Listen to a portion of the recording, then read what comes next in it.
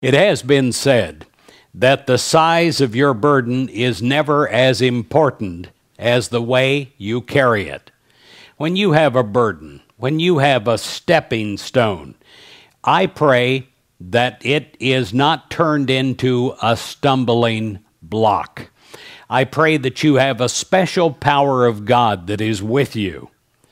In 2 Samuel 22, verses 2 and 3, it says, The Lord is my rock and my fortress and my deliverer, the God of my strength, in whom I trust. When we have a stumbling block, we have to trust in God more than trusting in the appearance of the stumbling block. And we, we have to know that God can get us up and over anything. Let me tell you a story.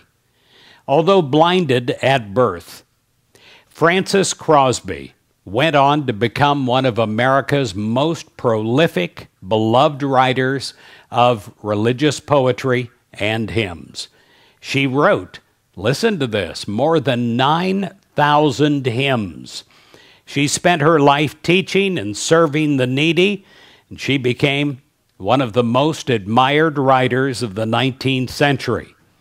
She was better known as Franny Crosby.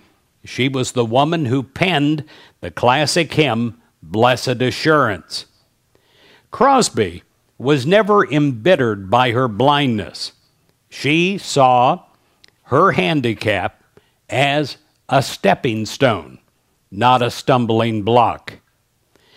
Are you letting in your life some handicap that you have hold you back?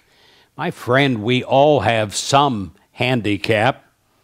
Well, let us take a lesson from Franny Crosby and focus on our blessings, not our misfortunes.